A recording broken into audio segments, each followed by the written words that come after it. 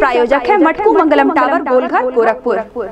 10 जून को प्रस्तावित भाजपा के क्षेत्रीय कार्यालय के उद्घाटन की तैयारियों के मद्देनजर एडीजी जोन अखिल कुमार व मंडलायुक्त रवि कुमार एनजी ने संबंधित अधिकारियों के साथ किया निरीक्षण। कार्यो को जल्दी पूरा करने के लिए दिए आवश्यक दिशा निर्देश।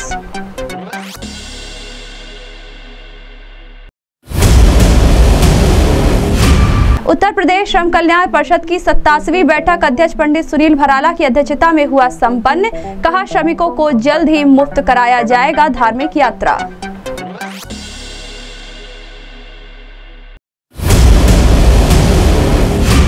अवैध खनन के मामलों में तीन ट्रैक्टर ट्राली एवं एक लोडर व ट्रैक्टर इंजन को बढ़लगंज पुलिस ने किया बरामद। सीज कर की जा रही है विधिक कार्यवाही।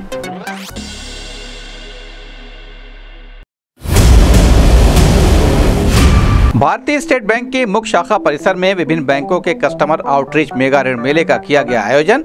नव नवनिर्वाचित राज्यसभा सांसद डॉक्टर राधा मोहन दास अग्रवाल ने 350 लोगों को लगभग 200 करोड़ के ऋणों की स्वीकृति पत्र को किया वितरित। कहा, जन समर्थ पोर्टल उपयोग में है बहुत आसान।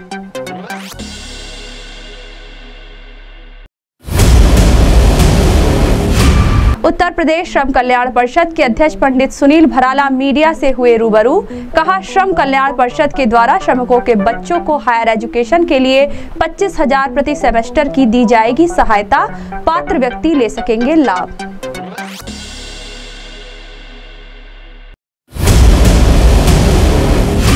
मार्कंडे चंद स्मारक unique sunrise UP state prize money under 13 badminton प्रतियोगिता का हुआ शुभारंभ।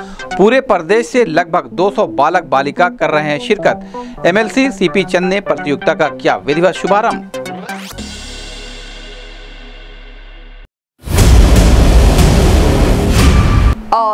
मंगलवार को जिलाधिकारी विजय किरण आनंद का स्कूली शिक्षा के महानिदेशक सहित अन्य पदों पर तबादला होने पर बुधवार को कलेक्ट्रेट कार्यालय में बधाई देने वालों की लगी रही कतार। नागरिकों सहित अधिकारियों ने दी बधाई।